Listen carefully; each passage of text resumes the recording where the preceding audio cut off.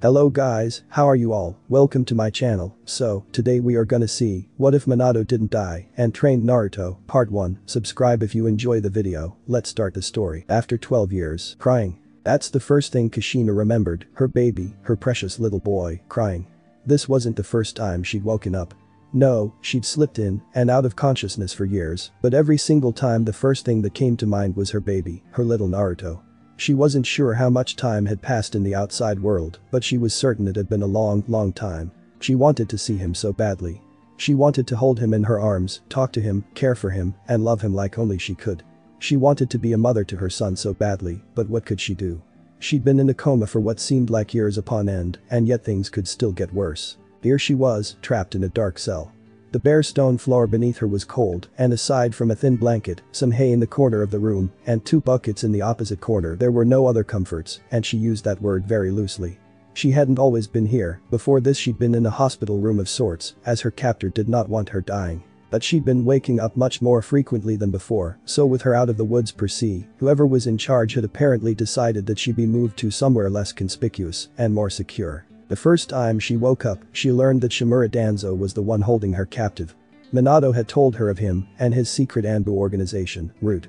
She knew he was bad news, and so did her husband they just never thought he'd do something this treasonous. Kushina. The redhead turned. Kneeling next to her was her one and only, the only man she'd ever loved, and the father of her precious child, her husband, Namikaze Minato, the Yondaime Hokage of Konohagakure. He had been in a coma with her, in and out of consciousness much like she was. They didn't always catch each other awake, but that didn't matter, as neither of them remained conscious for very long. Yes. She replied, her voice weak and somewhat raspy from years of little to no use. He put his hand over hers, a deep determination showing behind his blue pools. I'm sorry, he replied, his voice in a similar state to hers, it's taken so long, but I finally have enough chakra we're getting out of here Danzo had kept them weak. He had made sure that they'd never gained enough chakra to fight back and had only given them enough care to keep them barely alive. He underestimated exactly how smart Minato was though. The yellow flash was no one's prisoner and he was about to prove just that. Get ready we're getting out of here and then we'll be able to see Naruto again. Minato gave a shaky smile to his wife who returned it with one of her own. And that's our report, Hokage-sama, said Kakashi. Sarutobi Hiruzen, the Sandaime Hokage sighed. He wondered why nothing was ever simple when his surrogate grandson was involved. No, nothing was ever simple at all. I see. Thank you, Team 7 is dismissed. Kakashi, could you stay behind? There are some things I would like to further discuss with you. Nodding, Hatake Kakashi complied with the Hokage's wishes. Turning to his students, the Junin told them they were dismissed for the day and that they should go home and rest. Sakura nodded, a relieved smile appearing on her face. Sasuke gave his usual HN, and Naruto merely shrugged. Kakashi expected the responses he received from Sakura and Sasuke, but not Naruto. He'd been too subdued. He'd been that way ever since leaving Wave. His blonde student looked like he had a lot on his mind and the copy nin wasn't sure what was wrong with the boy. The three genin left the room, closing the door behind them. Usually, this was around the time Sakura would ask Sasuke for a date, he'd refuse, and then Sakura would be asked out by Naruto, also refusing however, only two of the four things occurred today though. Sakura asked Sasuke out and was rejected as usual, but when she turned around expecting to have to deal with Naruto, he merely looked at her briefly, seemingly lost in thought over something, before offering her goodbye and walking away. Sakura stood there, slack-jawed and wide-eyed. Naruto was acting weird. What the hell just happened? She asked herself. Uzumaki Naruto was a brash and loud boy. He was unrefined, had almost no manners, and very little care for them. He didn't mind being this way, mostly because he didn't know there was any other way to be. No one had ever taught him such things. There was no one who could scratch that, there was no one who would. The Hokage was a busy man, he couldn't devote a large amount of time to Naruto, and everyone else aside from Teuchi and Ayame hated the boy, he was wrong, of course, but he didn't know that. Kakashi was a mystery to him.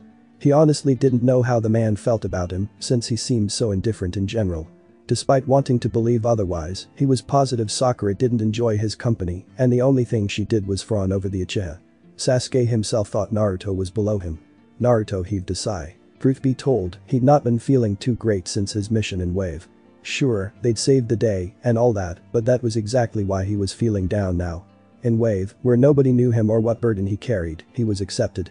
Hell, he was hailed as a hero, but here, here in his own hometown, he couldn't walk down the street without being glared at or ignored altogether. He couldn't buy anything without prices being doubled or sometimes tripled, and he couldn't go to many of the restaurants ramen being his favorite food isn't the only reason it's all his diet consisted of. The contrast between the public reactions he'd received in Wave and what he received here was really getting to him and he was certainly feeling down.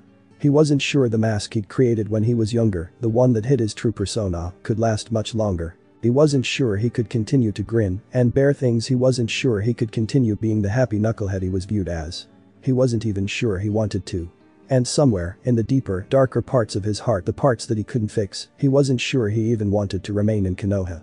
Leaving another sigh, Naruto trudged on, doing what he could to ignore the villagers around him as he made his way to his apartment. The apartment where he'd spend yet another day alone. So the Kyuubi's chakra has started to manifest itself. Said the Hokage, the question more rhetorical than anything. He wasn't sure he liked what he was hearing.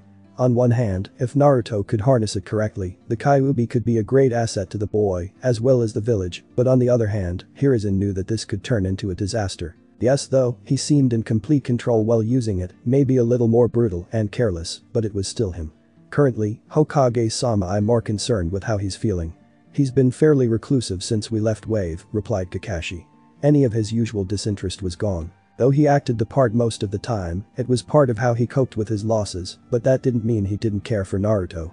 He was happy to have his sensei's son on his team, and after seeing his performance in Wave, he was determined to train his team harder. He'd almost lost his students, and he was tired of losing the people important to him. Hiruzen leaned back in his chair, inhaling from his pipe. Everything Kakashi was telling him was troubling. Naruto was unhappy. That would not do. The Kyuubi could free itself based purely on the child's mental state. Hiruzen frowned, knowing something had to be done to ensure nothing of the sort happened. Maybe it's time I call for Jiraiya. The boy will certainly be happier if he learns of his godfather, and I'm sure my student would be happy to teach Minato's boy. It also wouldn't be too bad of an idea to have Jiraiya tell him of Kushina, thought Hiruzen, even though she had her enemies, there is little consequence if he knows of her. It would also help matters if her name unintentionally happens to slip out at some point. We've already thoroughly hidden her connection to Minato after all.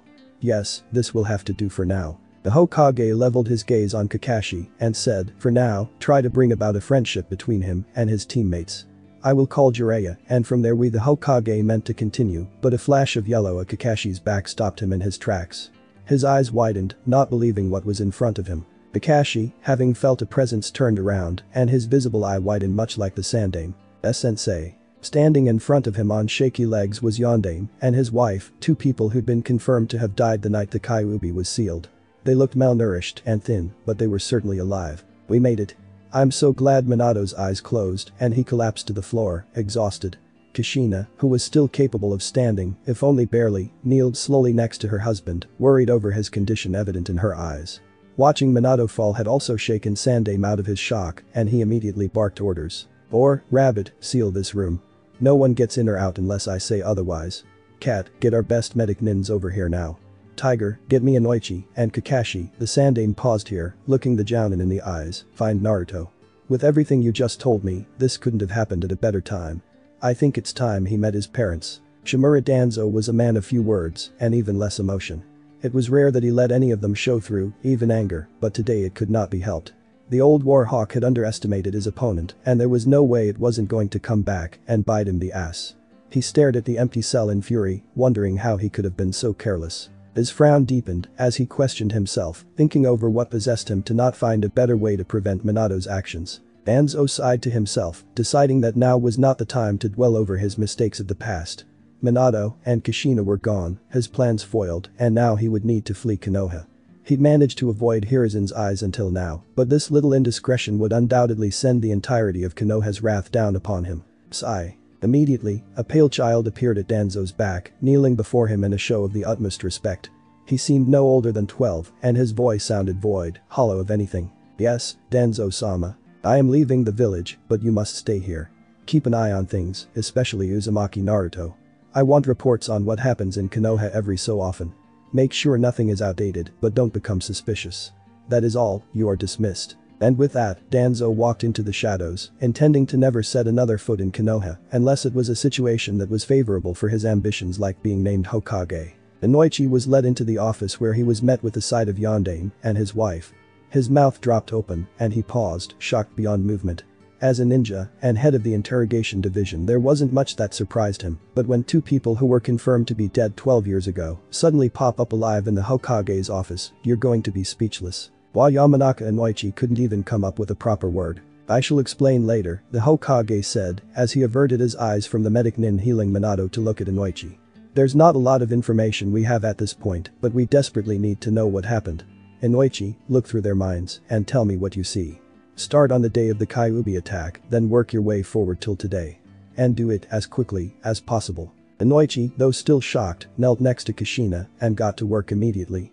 She smiled at him and nodded her head, understanding what he had to do as a medic nin tended to her injuries. Nodding back to her, he ran through a series of hand signs before coming to a stop and staring at her. Saisha know with those words, Inoichi descended into her mind. The both of them remained motionless for nearly 15 minutes before Inoichi blinked, then blinked again before his face turned stony.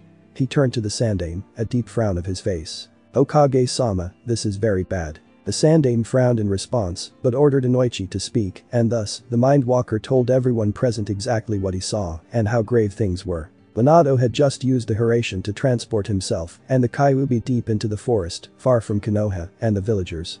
The Sharingan was no longer in Kyuubi's eyes, but the yellow flash highly doubted that the absence of it would suddenly make the enraged Bijuu more docile. In fact, it probably made the threat even worse, as the fox now had control over itself and was far better at using its body than the masked Uchiha who had been manipulating it. And, as much as Minato hated to admit it, he only had one option left.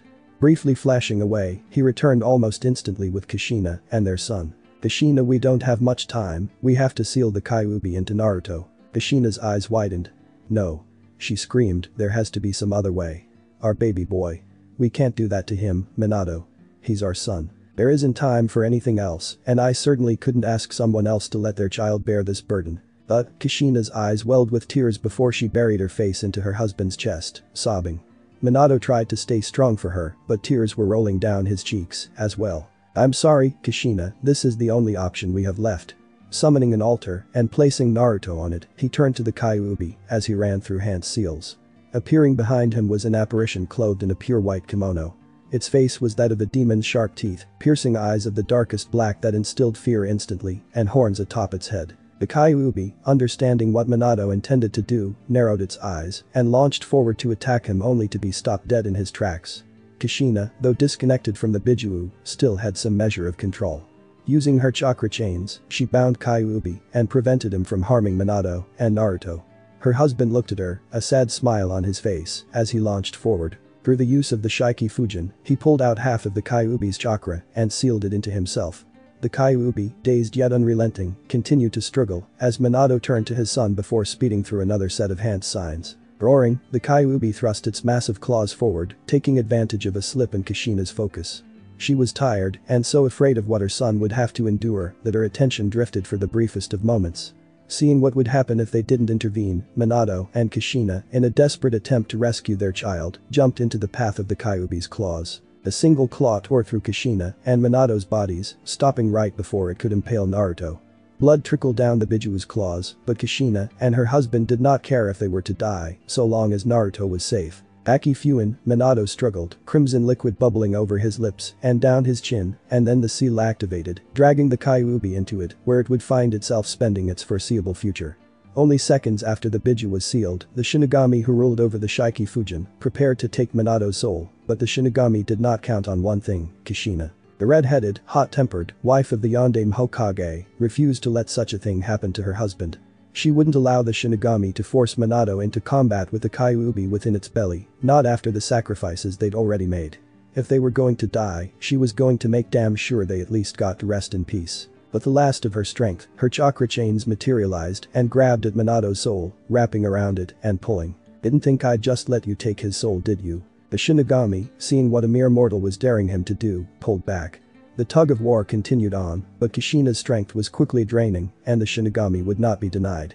With a vicious tug, it pulled forth Minato's soul, Kushina's chains, and by extension, her soul, as well. But the swift downward strike, it severed their souls from their bodies and vanished as they dropped lifelessly to the ground or at least, that's what the Shinigami thought.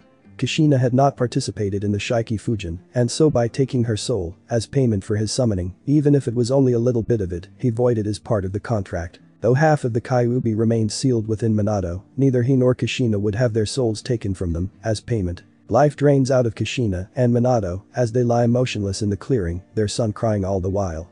Then, where there were once only three bodies, there were now seven. Standing over the downed forms of the Yondaime Hokage and his wife were Danzo and three of his root operatives. A small, sinister smile crept onto Danzo's lips. Before him was an opportunity he couldn't pass up. From there, said Inoichi, Danzo's operatives rushed them to their base. He wanted to take Naruto as well, but after setting up suitable faux corpses of Minato and Kushina, he could already hear you closing in. Seeing how Naruto would not stop crying, he saw him as a flight risk and left him where he was. Once at his base, his operatives did everything within their power to tend to Minato's and Kushina's injuries to make sure they pulled through. It was touch and go, but thanks to Kushina's Uzumaki genes and Minato's new status as a Jinchuriki, they made it through. This was the point where Kushina passed out and she stayed that way for quite a while. She woke up a year later based on a conversation she had with Danzo. She'd been in a coma and he told her that the minute she and Minato were out of the woods and awake he would begin turning them into his perfect weapons. After that, the two of them were conscious very infrequently over the next 12 years. This is the first time they've managed to stay awake for very long. The Hokage was furious, his fists clenched around his pipe and within seconds, it snapped in half. He had been lenient with his old teammate, he tried to get him to shut down Root without having to resort to violence, but now the man had gone too far. Sarutobi Hiruzen would have Danzo's head, he swore his very life on it. Find Danzo, he said, looking to the Anbu who'd brought him Inoichi. Take any reinforcements you think you need, and once you locate him, alert me immediately. Danzo has severely overstepped his boundaries, and by the end of this day I will end his life. Go. The Anbu complied immediately. In Konoha, there was one thing that was absolute. No one crosses the Hokage. While the Anbu searched through every inch of Konoha looking for Danzo, Hiruzen stared down at his successor and the man's wife. While the damage done by malnutrition could not be taken care of right away, he was happy to see Minato and Kushina looking a little healthier than they had only moments ago. Yet, despite how things were changing for the better, the sight before him still infuriated him. For Danzo to have dared to do anything like this, it lit a flame of fury within Sandaime's heart. Sarutobi-sama, started Kushina shakily, Naruto where's my baby? Hiruzen frowned. He had already called for the boy, and he knew this would be the best thing that could happen for Naruto, but he wasn't looking forward to the conversation that would follow. His successor had trusted him. He knew that even though Minato had been dead, if he'd had time to talk to him, Minato would have requested that Hiruzen keep his boy safe, that the village look to him as a hero and not the beast that had nearly destroyed it. The Sandaime would not lie to them when the time came. He had failed their son, he had failed them. Kakashi should be bringing him now.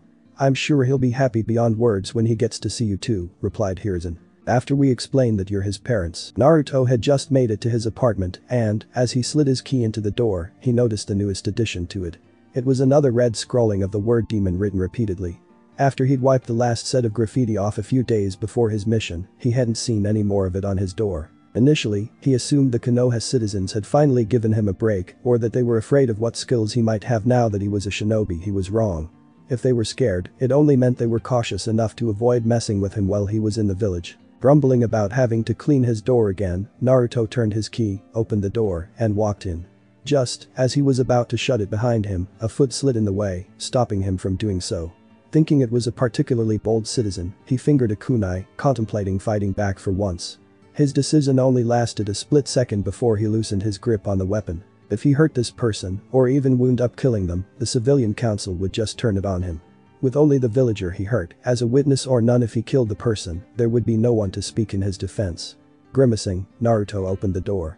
Relief washed over the orange-clad genin as Kakashi stood in his doorway. Yo, Naruto, greeted Kakashi, raising his hand. Hey, Kakashi-sensei, replied Naruto, his grimace shifting into a broad grin. His mask had already slipped back on, whether he knew it or not. What are you doing here? Do we have another mission? He asked excitedly. He wouldn't mind leaving the village again. Even if he ended up stuck with Sasuke for another week or two, it was better than staying in Konoha while he was feeling so down. Well, it is a mission of sorts started by Kakashi, trailing off, as his blonde student's grin grew into a full smile. Just not for you, he added, Hokage-sama asked me to retrieve you. It's very important. Naruto's smile faded and he wanted to ask if this could wait until tomorrow morning. He was already feeling down and didn't want to sit through a lecture that would probably be about his use of the Kyuubi's chakra and wave. He was a shinobi under the Hokage's command though, he knew he couldn't refuse. Geez if this is about the Kyuubi, Jiji could have just had me stay behind with you, complained Naruto, stepping back outside before shutting his door. He was about to lock it when Kakashi put his hand on the boy's shoulder, and in the next second they were gone, a swirl of leaves marking their exit. Hiruzen watched as Kakashi and Naruto appeared in his office. Kakashi shot an eye smile his way as he let go of Naruto's shoulder and the young Uzumaki held his stomach, looking a little sick and disoriented. Sensei, you could have warned me before doing that, said Naruto, a hand over his mouth. Naruto vowed he wouldn't turn his back on his sensei when he wanted to take him somewhere ever again. The risk of losing his lunch or dry heaving was too high for his tastes. Sorry Naruto. This was urgent, replied Kakashi. Upon hearing his name, Naruto's parents looked him over. Kushina's eyes watered as she put her hands to her mouth in a silent gasp. Minato just looked on, marveling at how much his son looked like him and his wife. Naruto, called the Sandaime. The young Jinchuriki still hadn't looked towards them, too busy with trying to get a hold over his gag reflex to notice whom he was in the presence of. Look this way. There are some people here I think you need to meet. The medic Nins, Inoichi and his Anbu had all been shooed out of the room. While it had been made clear enough that Naruto was Minato and Kushina's son while he and Kushina had been healed, he thought it best for their reunion to be a more private matter. Naruto groaned as he complied with Hiruzen's order. Turning, he was about to complain to his sensei over the whole Shunshin thing again, but when he laid eyes on the people before him, they went wide. Initially, Minato and Kushina thought he was just surprised to see them, the Sandaime and Kakashi knew that was not the case, and the two parents were realizing it just as quickly. Aid it's Yondaime. Yelled Naruto so loudly the shinobi waiting outside could hear him, Jiji. It's really Yondaime. I thought he was dead. How'd this happen? Never mind. Who cares? This is great. Hiruzen noticed that apparently the boy held no ill will for his father. If nothing else, that was good. Sandaime saw Hiruzen's heart rate quickened as he looked at Kushina. She'd sounded so lost, and looking at her now, he could see she was hurt. Why doesn't he know who we are? Kakashi looked away as a tear streamed down Kushina's cheek and Hiruzen sighed. Naruto, called the Hokage once more, be quiet. There are some things you need to know now. Naruto, though ecstatic, caught the tone of Sandaime's voice. The seriousness of it put a damper on his mood and made him calm up. There's no point in beating around the bush, started Hiruzen as he walked back to his chair and sat down. Now more than ever, the age showed on his face. His wrinkles seemed more prominent. You could see the years of sorrow and work reflected in his eyes, and for the first time, Naruto noticed how fragile the man seemed at times. Naruto, Minato Namikaze, and his wife, Kushina Uzumaki are your parents. Naruto's eyes shot towards the two of them. His mind raced, emotions swelled within him. Anger, sadness, euphoria, surprise, confusion overwhelmed him, and the next thing he knew, something that had never happened aside from when he was beyond exhausted occurred. Naruto hit the floor with a thud, passed out. Hiruzen, said Kushina. This time she did not sound lost, she did not look hurt. Her voice was stern, his name came out of her mouth with no honorifics, no respect. She sounded angry and looked livid. A fire burned behind her eyes. It was a rage he hadn't seen her direct at anyone ever. Though shaky, Kushina stood to her feet, her fiery red hair swaying, as she did. Hiruzen looked upon her visage, and right now, at this very moment, had never felt so unnerved in his life. You're going to tell me right now, she continued, her voice low, why doesn't our son know who we are? Folding his hands in front of his face, Hiruzen sighed tiredly. The time had come. After I'd arrived at the scene to find the two of you dead, and Naruto alone, and crying I scooped him up and immediately had the boy cared for. The next day I addressed the village and let them know that he was their savior, that it was your wish he be viewed as a hero that you'd sealed the Kyuubi into him, Minato, Hiruzen paused here, expecting some sort of reaction from the boy's parents. He received none. I knew that you always wished the Jinchuriki could be seen for the heroes they were, not as pariahs and not as mere weapons. But I made a grave mistake. It was too soon. The hurt was still too recent in our village. We'd lost so many to the Kyuubi, and the citizens, shinobi, and civilians alike did not take well to the news. They hated Naruto for merely existing and called for his immediate execution. They did what? yelled Minato, oppressive red chakra swirling around him as his eyes changed from blue to crimson. Hiruzen dared not continue as his successor tried to rein in his emotions. Kushina went over to him and wrapped him in her arms, attempting to calm her husband. After a moment, Minato's eyes returned to their normal color and the Kyuubi's chakra receded. Yondaime couldn't believe it. The village is his home. The place he'd sworn to protect. The place he'd attempted to sacrifice his life his family's lives for had walked all over his will. They'd tried to have his son killed. Seeing the mistake I made, I passed a law that made speaking of the Kyuubi forbidden, an S-rank secret punishable by death. The older generation was lost, but I'd hoped it would at least allow Naruto some friends on his own. I was wrong. The children's parents merely told them to stay away from him, and in the village, he was either shown outright hate or ignored. Around his birthday it was particularly bad. There were some incidents. What kind? Growled Kushina. So help me, she thought, if they'd laid a hand on my baby, I'll run them through with my sword and my chains. There were a few instances in which he'd been chased by mobs seeking his death. He'd been caught and beaten once, and only once. It was the first time. I was busy, and Kakashi, whom I'd usually have to keep watch over, was out on a mission. The Anbu I thought I could trust had been appointed the task to watch over him, and they decided to turn a blind eye to the manhunt the Anbu, and those responsible for the mob were executed. Minato clenched his fists.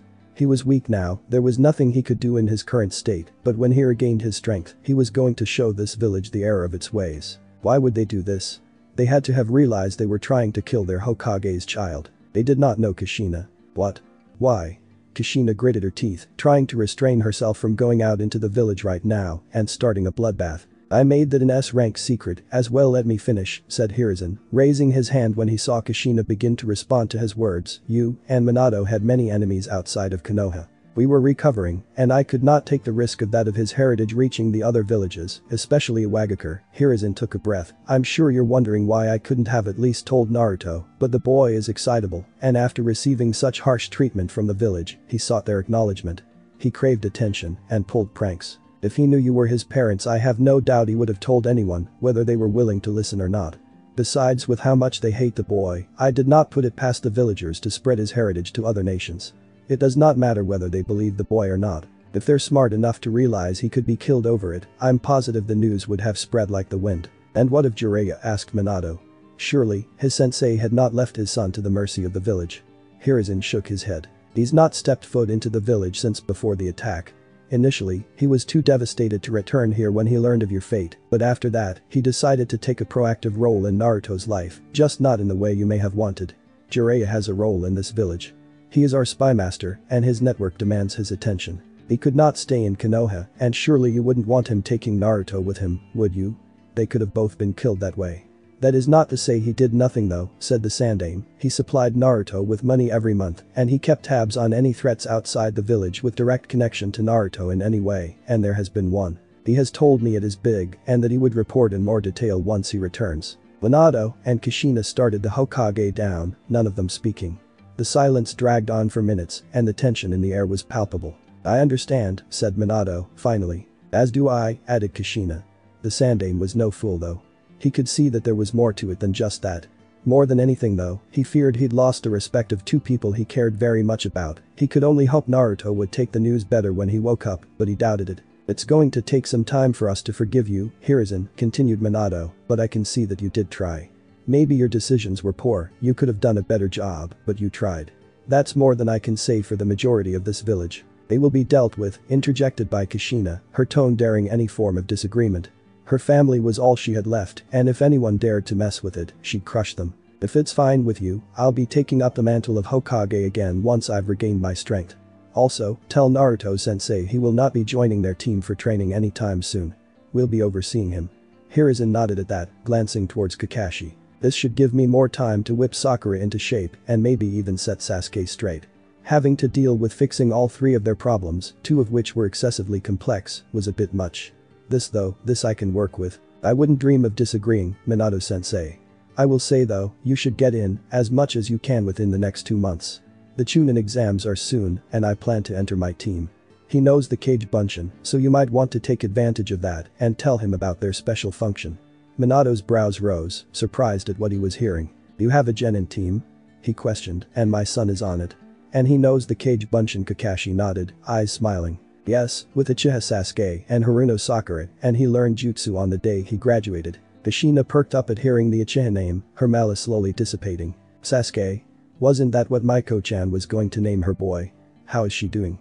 Kakashi looked at Hiruzen, and Sandaime sighed. It seems there is still much we need to discuss. While Hiruzen, Minato, and Kushina talked about the happenings in the village since their deaths, the Anbu searched the village for Danzo. They tore through his home, questioned the other elders, and checked the outside of the village. While the Anbu searched, Sai watched on. The young root shinobi noted that they hadn't located the entrance to Danzo's base yet, and even if they did, the seals in place there would surely kill them. That would not bode well. What purpose would their death serve? It would only lead their comrades to our door, and now that Namikaze and his wife are free, with their expertise in seals, surely they would find a way to break into the base. I must return and alert the rest of Root. We must vanish. As plan set, Sai used a shunshin to flee. Naruto groaned as he opened his eyes. He could hear some faint chatting around him and wondered what was going on.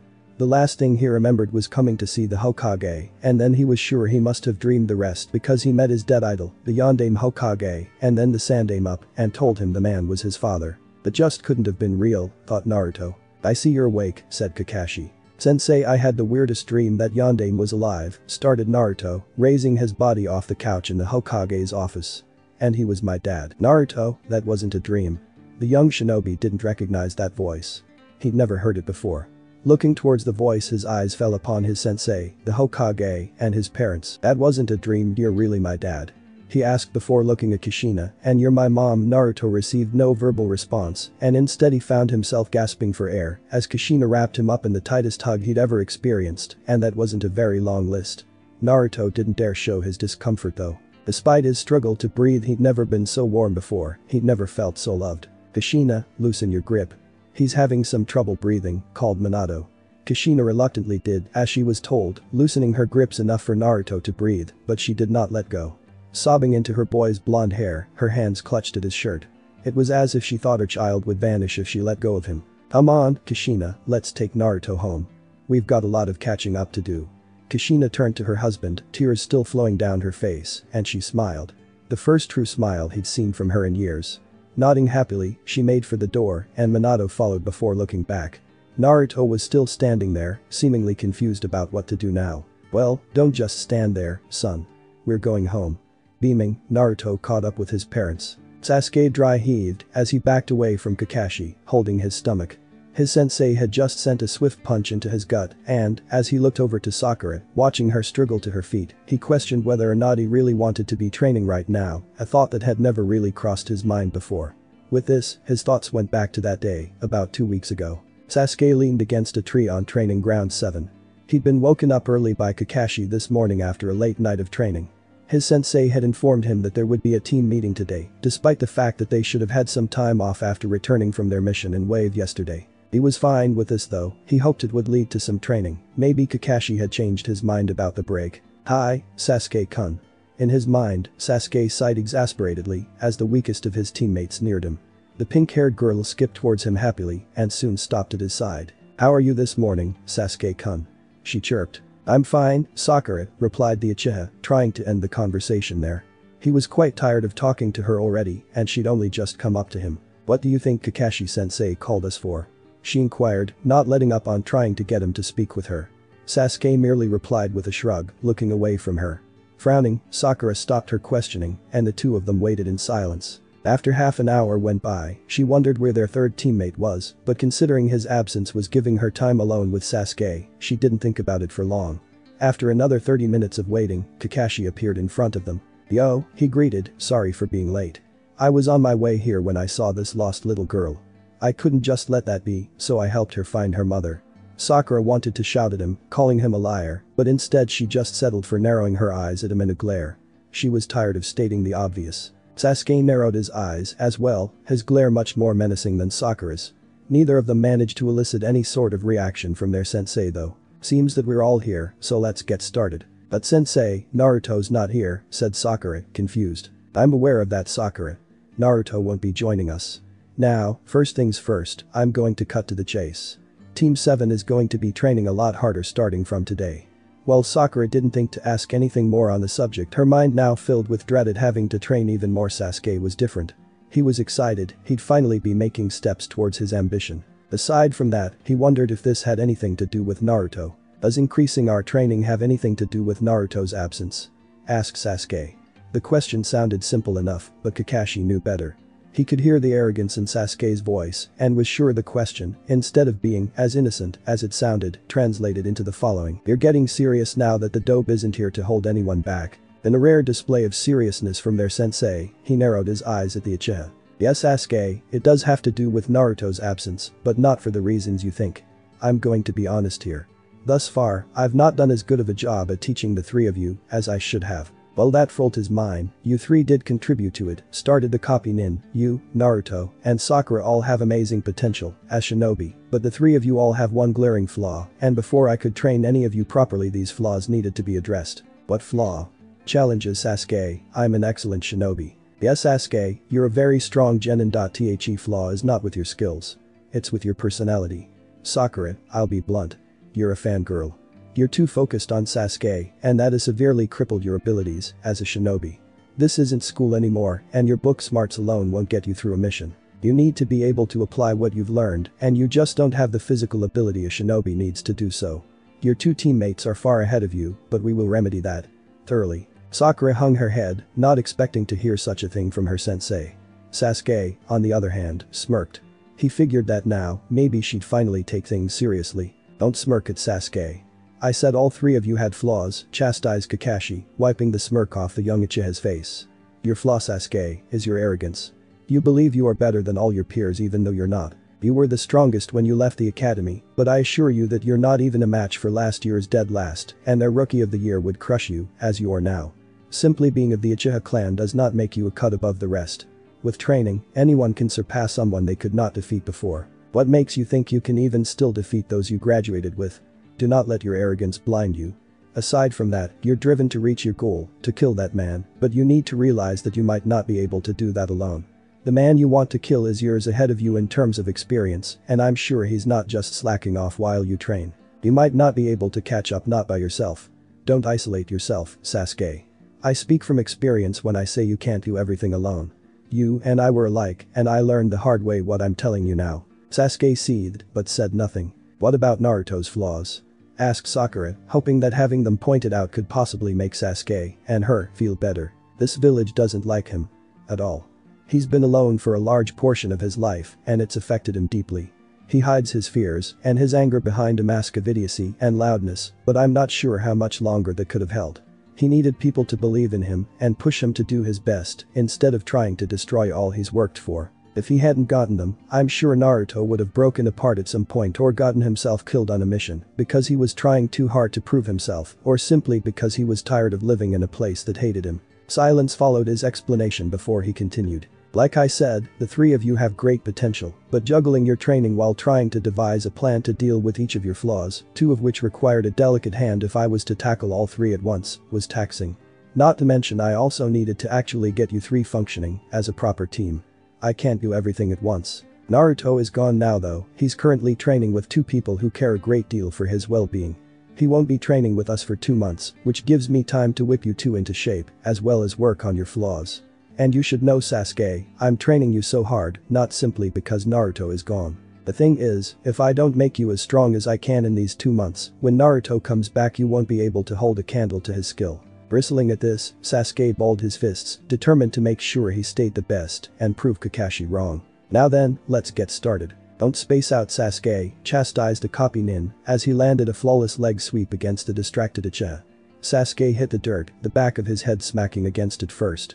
Before he could scramble to his feet, he found a kunai to his throat with his teacher kneeling over him in a nonchalant manner that pissed him off more than anything right now. You've lost, said Kakashi as he stood, this sparring session is over. Time to move on to the next step in today's training.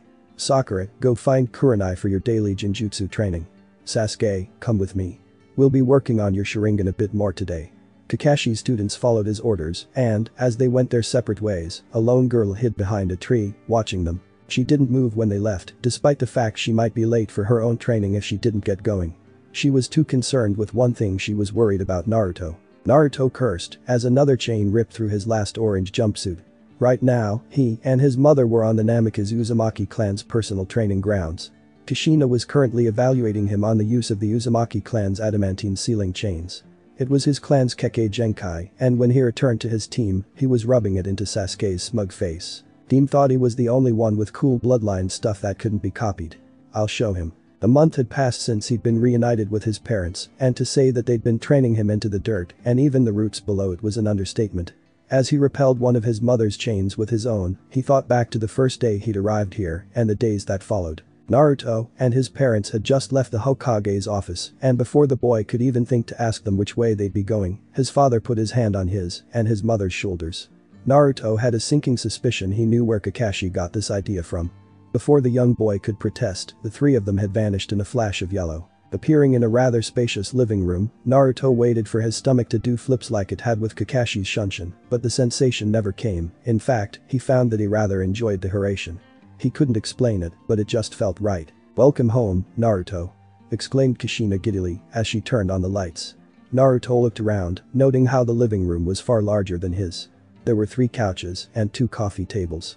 A love seat was on the right end of the room and a leather chair on the left, near a fireplace.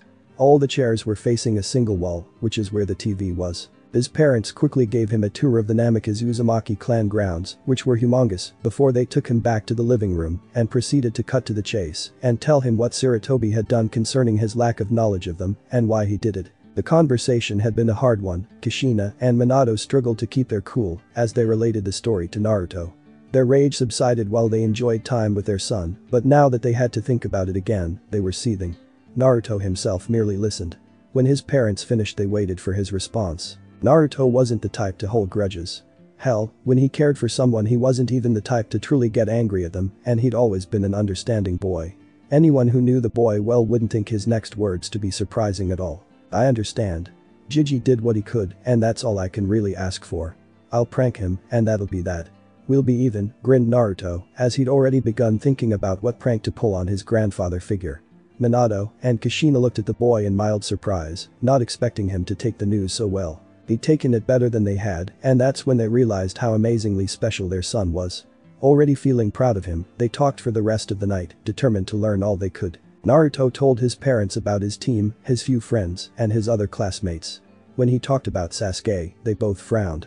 They knew the boy's position, but that didn't mean he had to act the way he did. If nothing else, they needed to set him right.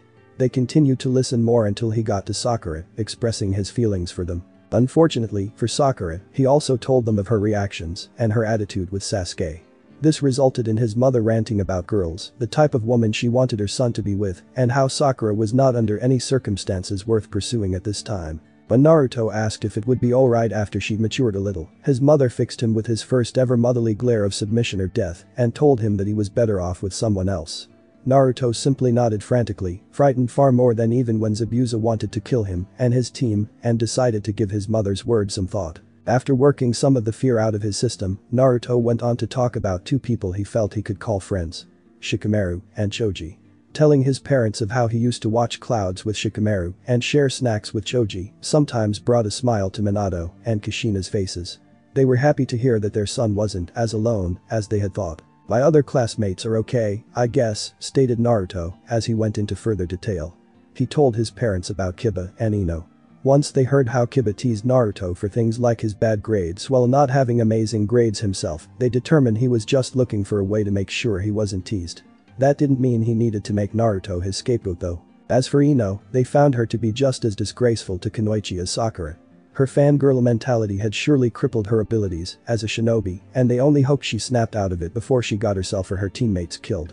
Briefly, they wondered what would happen if she had to fight Sasuke during the exams. They didn't think her drive to win would outweigh her crush on the boy, and even if it did, Sasuke hadn't slacked off based on his status as Rookie of the Year. The boy would likely pick her apart. Moving on to Shino, Naruto told his folks that the boy was very quiet but didn't seem to dislike him. In turn, his parents told their son that that's just how the Aburame family was. They also told Naruto to try and befriend the boy because he could likely relate to him. How can he relate to me? inquired Naruto. Well, started by his father, the Aburame family uses bugs as an essential part of their jutsu. Plenty of the villagers find them creepy for that. He can probably relate to how you feel when it comes to being judged based on what is inside of him instead of who he is. Thinking over his father's words with a hum, Naruto nodded before reaching his last classmate, Hinata. She seems nice enough, said their son, as he leaned into the couch, but she's pretty weird. She always talks with a stutter, which isn't bad or anything, but I think she's always sick or something. Kushina raised a slender, red brow at this. Why? Whenever I talk to her she always turns red, and then she faints. I hope she's gotten better since graduation. She could be in danger if she was that sick on missions, said Naruto, showing concern for the girl. She was weird, yes, but he didn't really think that was a bad thing, and he wouldn't wish her harm just because he thought she was. He'd be no different from the villagers if he did such a thing. Unlike their son, Minato, and Kushina could easily see what was going on and smiled. They weren't yet sure if Hinata's feelings for their child was anything more than a simple crush, but they were at least pleased to know that there may be someone in his generation who saw Naruto in such a way. For now, they would simply hope that he and the girl could become friends. If nothing else, they knew their son needed a better female friend in his life than Sakura. Following that night, Naruto was told that the two of them would now be training him personally for the next two months, and that they'd be starting with his academics, since they were still in no condition to be able to physically train him. Naruto grumbled at this, but after a talking to from his father about the usefulness of tactics, history, and geography, and how he used them quite often to help him win battles, the younger of the two blondes eventually gave in, especially when he was told about how he could remember anything a Kage Bunshin experienced. He was thankful for this, because once his mother introduced him to Fuinjutsu he didn't want to read anything else. Why does this seem so easy? I mean, I always heard Fuinjutsu was really hard to figure out so you know I never tried it, but I just get this. I don't understand. Kushina smiled at her son, having already figured he'd have a reaction like this. Kneeling next to him on the floor of their patio, looking over all the scrolls laid out in front of him, she replied. Well, Naruto, that's simple. You see, the Uzumaki clan have a few special traits. We have an unrivaled longevity, and we heal faster than others, as well. Our chakra reserves are quite large too. Aside from that, some of us have the ability to develop our Kekkei Genkai, which through the use of Yin release, allows us to create chains from our chakra known as adamantine sealing chains. That's not our only Kekkei Genkai though. We have one more, but it's more of a passive thing, and since we never talked about it to anyone outside of those we could trust with our lives, no one knows about it. You see, our clan's second Kekkei Genkai is known as Mugen Toshikin. It's nothing too extravagant, but it's nothing to slouch at either, said Kushina upon seeing Naruto's reaction to the name of their most devastating Kekkei Genkai. The Mugen Toshikin allows us to have the most intimate understanding of the sealing arts on the planet. It's why the Uzumaki clan was feared for our seals.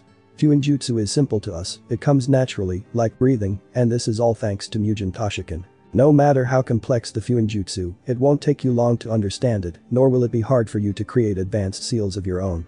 Naruto nodded, now having a better opinion of his clan's more subtle Kekkei Genkai. A few weeks passed, and through the use of Kage Bunshin Naruto was able to jump leaps and bounds in his academics, and, as far as Fuinjutsu was concerned he was already conjuring up some seals that most Jounin couldn't comprehend.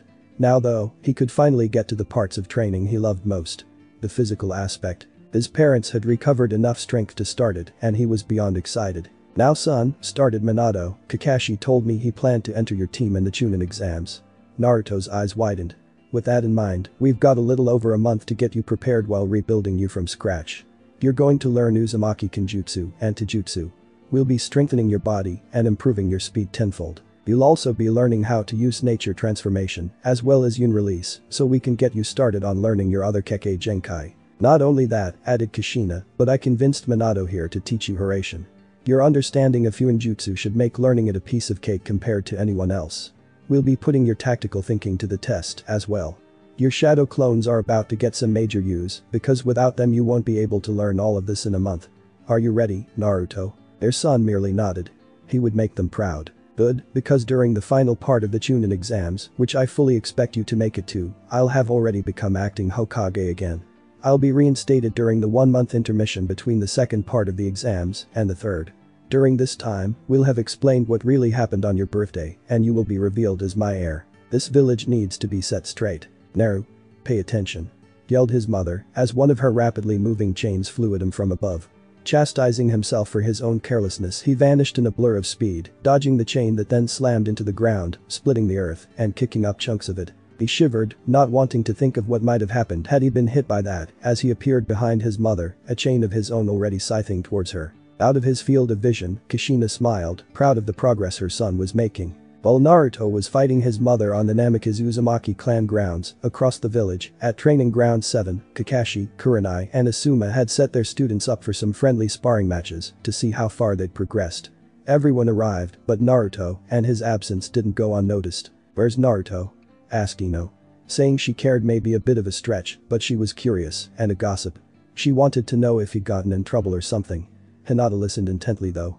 She'd been worried about him for the past month and now she may finally get some answers on where her secret crush may be. As a select few Jounin, Guy, Kurenai, Asuma, and the clan heads of the major ninja clans had been briefed on the return of the Yondaime, they already knew where Naruto was, but their students certainly didn't, and for now it would stay that way.